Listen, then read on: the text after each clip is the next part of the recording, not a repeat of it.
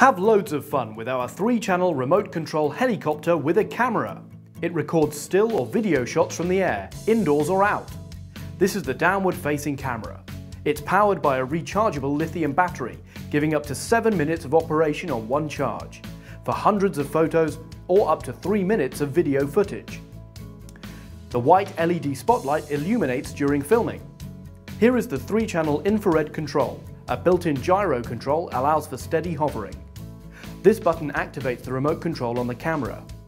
The 128 megabyte micro SD card is included, as are the two spare tail rotors and software.